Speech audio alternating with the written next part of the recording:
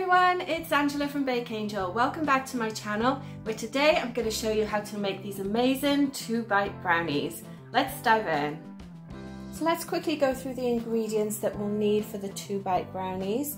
We have 100 grams of white sugar, 57 grams of melted plant-based butter, an egg, I'm going to be using some vanilla bean paste in this, then we have 56 grams of melted vegan chocolate.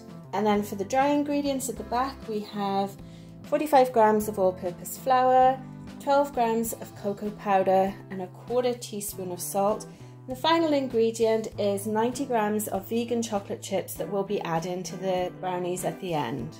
So let's start by adding our white sugar and the melted butter to our mixing bowl. Now we're going to whisk these together until they're nice and smooth. As that's going to give a really nice good base to our brownie bites.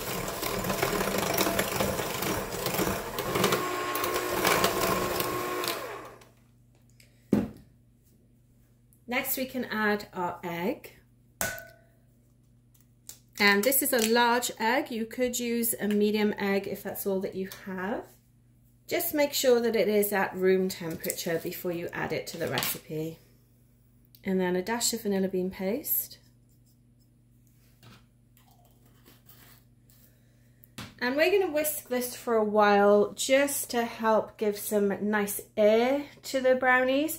And also it's going to help with the crackled top as well, which I know we all love.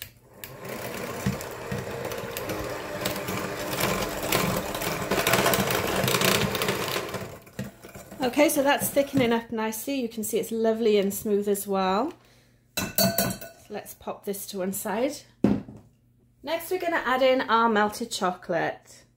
Now, I recommend when you are melting your chocolate for this that you do it in 15 second intervals in your microwave or you can melt it over the stove top as well with a double boiler method. But do let it sit for a little bit before you add it to the recipe, just so that it cools down, because you don't want anything to seize or for it to curdle with the eggs when you add it if it's too hot. So let it sit for a few minutes, like I said, just before you add it to the recipe. Okay, perfect. Now we'll give that a whisk. And we're just whisking this a little bit for it to combine and it really does help with the consistency and also the richness of the brownies as well.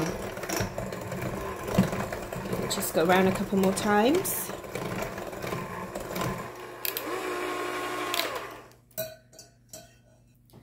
So next we're going to add in our dry ingredients and we're actually going to mix these in with a spatula because we want to make sure we don't overmix the brownies at this stage. So we've got our all-purpose flour, cocoa powder and a touch of salt as well.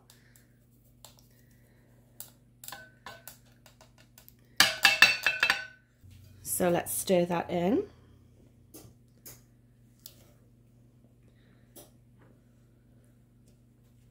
Now this is a small batch as well, which you could easily double.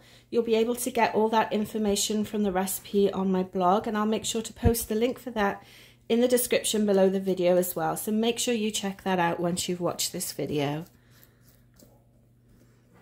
Okay, so that's nicely mixed. Look how rich and yummy that looks. So the last thing we need to do now is add in our final chocolate chunks. So you could use chocolate chips for this. You could cut up your favorite chocolate bars. I'm just using some vegan chocolate chunks and you want to fold those in. So definitely something you could get the kids involved with at this stage. Not too messy, but definitely a lot of fun. And the brownie mix smells so good already. Okay, so now we're ready to pop them in the baking pan. You should have already preheated your oven as well to 350 degrees Fahrenheit. So let's move this out the way and get our pan prepped. Okay, so I'm just going to pop this down as we're going to actually spray this mini pan with oil, with a spray oil. Just a little bit in each cavity.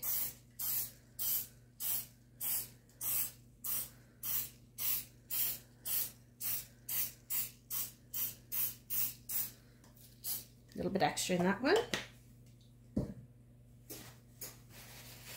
And then I'm just going to go around oops, and just wipe it around as well, cleaning off the tops too. And then all we have to do now is scoop our brownie mix into the pan and I'm using a small scoop for this one. And just plop it in lots and lots of chocolatey goodness in this. So you could also switch up the chocolate, put some white chocolate chips in it. I guess you could add some crushed up nuts as well if you wanted to. But we're just sticking traditional and going for regular chocolate here. So I'll just keep going and get these filled. So once you've filled your tray, you just want to give it a tap on the counter just want to make sure that it starts to flatten off at the bottom and then we can pop these in the oven. Now this is going to bake at 350 degrees Fahrenheit, roughly 10 to 12 minutes. You may need to adjust that based on the type of tray that you're using, but let's go ahead and get these baked. Okay, our brownie bites are done and I wish you guys could smell how wonderfully chocolatey my kitchen is right now. You can see they've all risen nicely. There's a couple that didn't have the same amount of batter. Um, but you can see we got 15 from this batch. Now, if you double it, you'd easily get 24.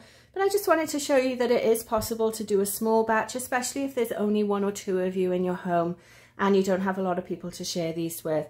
I'm going to leave these cool completely before we remove them because everything is going to firm up as it cools down. Then we can take them out and we'll come back to do our taste test.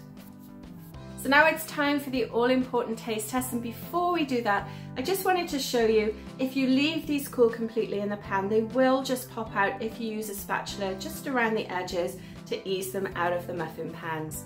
So have a look at these, it's about an inch in height, definitely two bites worth there as well.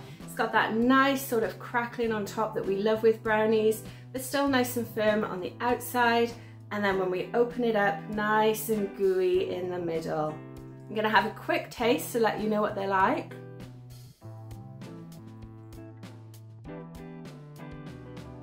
So really, really good. They're very rich, definitely stick to your teeth kind of brownies, which we all love.